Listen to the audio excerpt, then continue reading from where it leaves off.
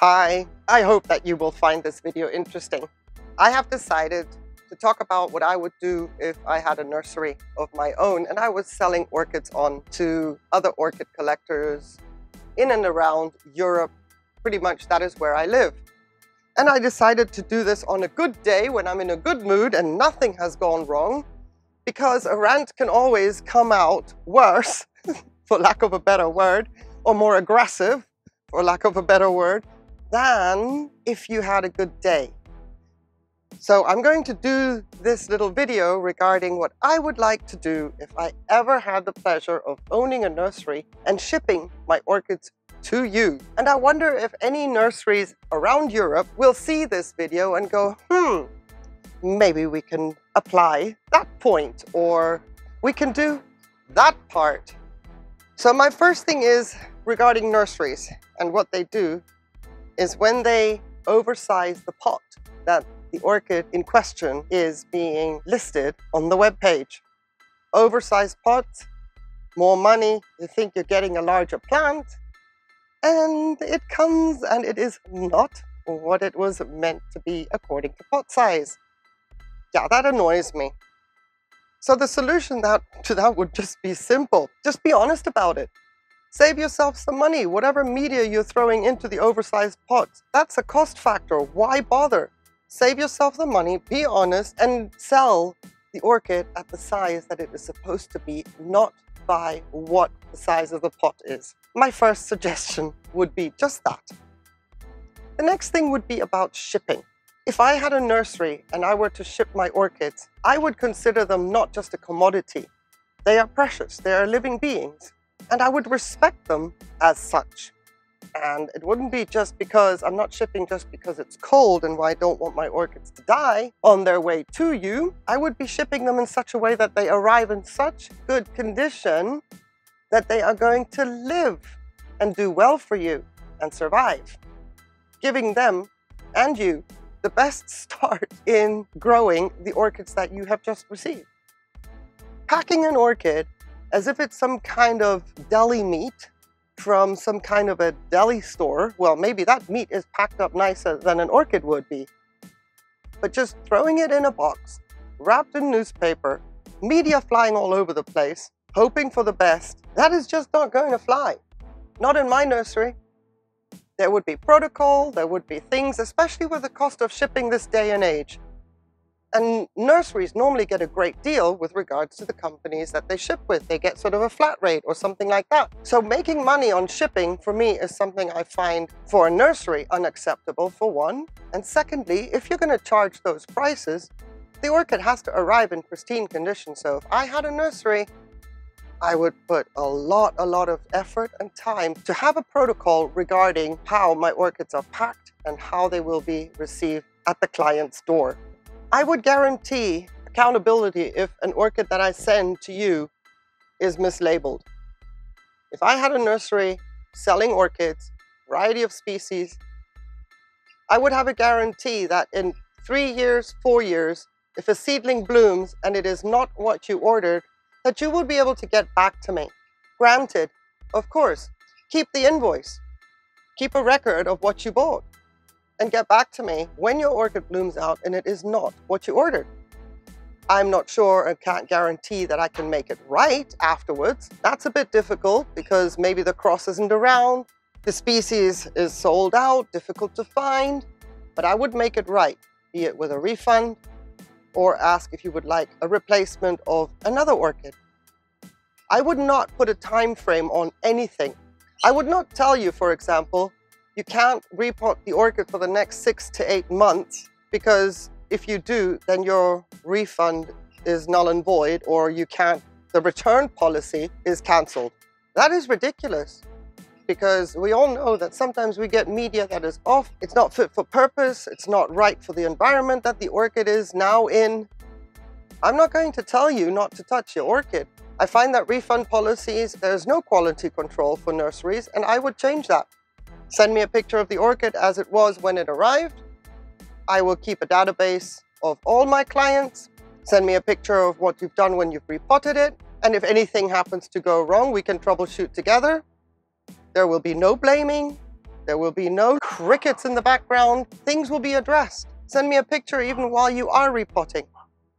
That is what I would do if I had a nursery.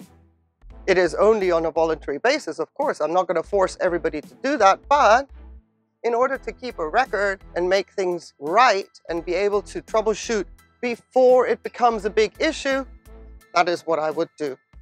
It would be clear as bell on my webpage. It will be part of my marketing, my selling points, and all of that. I find it is absolutely not something that is so hard to do, given all the correspondence that is happening anyway, to allocate one person a student or somebody to sit at a computer and just be there for customer relations on a customer relation basis. Not for the repottings, not for anything else to do in the nursery. Maybe three, four hours a day, maybe just on the weekend. I would employ somebody just for that, in my nursery, that is. Selling divisions, potting them up and pretending that they're established orchids drives me nuts. Would not happen in my nursery. You would know that it is a recent division. You would know when the division was made. You would know the status of the orchid at its current point. And if you're still in doubt, you would get pictures. It's not like I'm going to put a website up with all kinds of pictures which need to be updated after four weeks because the orchid started to grow a nubbin or some roots. But at that point in time, to in any way, shape or form, get out of the doubt about buying a division, if you want a picture, there would be a picture in the mail and say, this is what it currently looks like. And it would be identifiable so that there is no swapping, switching, or whatever. It would hold back my business a little bit because until a client gets back to you, not everybody responds within 24 hours, but there would be a time limit in the email. Please get back to me within 48 hours if you are interested to proceed with this purchase. Simple. There is no way in general as a message that I'm saying if I had a nursery that any sick orchid would also leave my premises. They would be free of bugs. They would be treated prior and not just with an overall systemic insecticide, but inspected. A spray of hydrogen peroxide here and there into the pot and into the media prior to packing one day before to make sure that if there are any slugs in there, at least during the traveling, the slugs are not going to perpetuate themselves. The orchids would also be shipped according to what their needs are, never wrapped in plastic, if the sphagnum moss is wet, you would get an email from me to say the orchid is a little bit too wet for my liking to ship it. Especially if you know the destination of the customer, I would definitely say it is still a bit too cold at your end. I would like this orchid to dry out. For that reason, your shipment is delayed for another seven days. An example, just, you know, communication with the customer. This is what's happening with your order. This is the reason why it's not being shipped immediately. And let them know. I would do that. Even when I ship my own divisions, I want to make sure that they are in good condition. Yes, it's not a business for me, but when you have a business, it's even more important, in my opinion, to take care of your merchandise, especially if it's living things, and respect it as such. Respect the customer who is buying orchids, not necessarily a newbie, which you can pretty much tell in some orders when a species goes out, okay, this person is ordering this, they must know what they're doing. And then you send them what? That wouldn't happen in my nursery. If, for example, as well, there's another thing, if you have a fungus or something that you find after a year, I can pretty much say that if I get a picture straight away in that says this was an orchid that came from your collection, we have the documentation and the records to, to know the trail and the source. I can tell if a fungus is recent within four weeks or is actually 12 months old or 24 months old, should that be the case. I'm so bold at that point to say, no, sir, that is recent, and then I recommend you do this, this, this, this. With regards to how you can treat your orchid, if you would like, we can help you out with XYZ product, and that would be a courtesy shipment. The emphasis being here on the health of the orchid the customer is going to be satisfied is secondary and it is a bonus. But if the orchid is struggling and you have a problem, there will always, always be somebody in my nursery to address that, to help you and troubleshoot. If it turns out that the orchid already arrived virus and then within a year there is a problem, I would say I can pretty much say whether the virus was in the orchid when it left and how it has developed over a year, especially when it comes to fusarium. You can tell if it's a fresh fusarium or if it's established fusarium. And then I would hold myself accountable. I would take responsibility. And if there's no saving the orchid, once again, if there is no replacing the orchid because it just so happens I don't have it in stock, then I would find a way to make it right. Somehow. I am quite sick and tired of how the rest of the world is so, so focused on customer service to the point that actually some customers will abuse customer service when there really isn't any need. So yes, record keeping and keeping track of who gets what when is important and how I would go about doing that is giving courtesy correspondence regarding how are your orchids doing. Let's say I have this gorgeous tortilla en masse in my nursery. And then I've shipped 10, 15 over the past years, even in the last six weeks. It doesn't matter the time frame, that's not the point. I have a record of who bought what. I will keep that database going. And every six months, there's going to be, how is your tortilla doing? And if it is one order that got shipped, that order will be addressed every six months.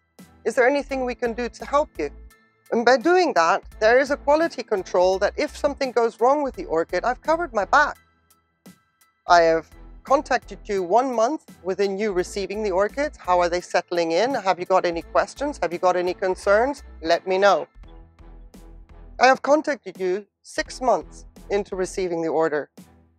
And I keep records and track of that. So if after a year or two years, there is a complaint about XYZ, I have a complete track record of the history of the orchid since it left my nursery. And that is not to point the finger. That is just to cover my back. And that is just to ensure that I can assess what is going on if the customer comes back to me and says, look at my orchid now, what are you going to do about it? And to cover my back regarding how people are very, very quick to abuse what they interpret as customer service. And I believe that would work.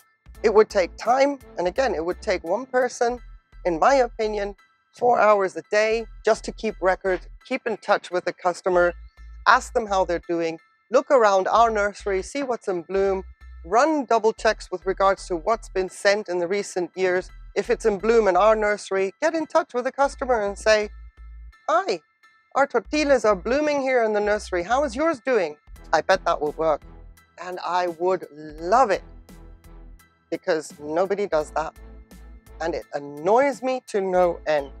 I guess I am a little bit too passionate sometimes about the orchid hobby that I don't understand that people that run it as a business, you know, don't have the same regard or the respect.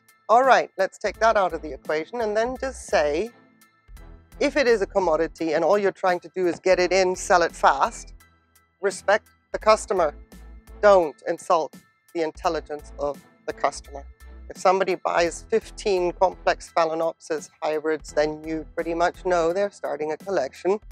And they're probably beginners, unless they have a little flower shop, by which time you would know anyway. But if somebody comes and buys, let's say Rupicolous Laelias or something really, let's say tricky, uh, Dendrobium Victoria Regina, you name it, especially when we're shipping all over Europe or the United States, and there's different climates, different zones, different hardiness of orchids, different humidity environments, etc.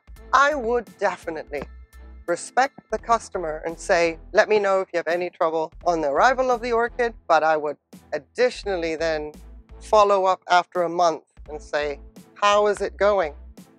Is there anything we can help you with?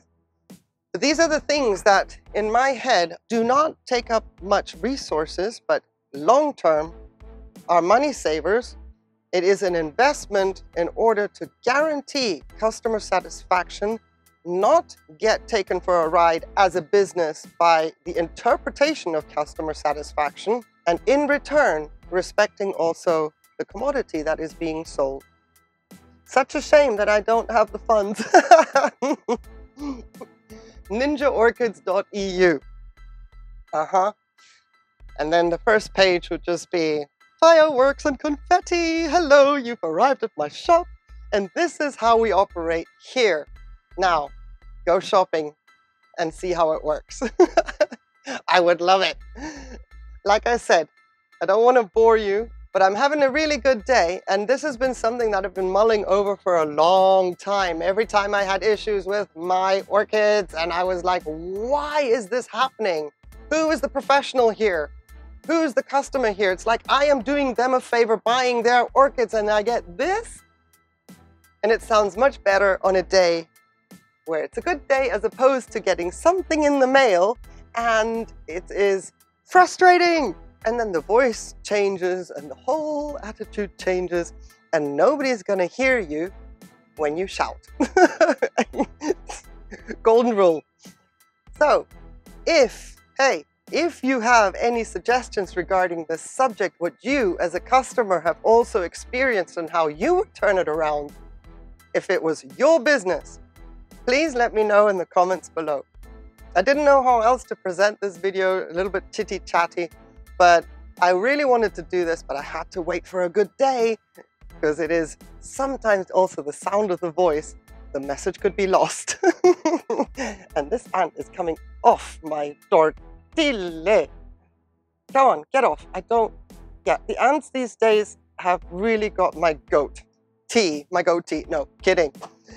Thank you everybody so very, very much for watching. If you've made it this far, I appreciate it.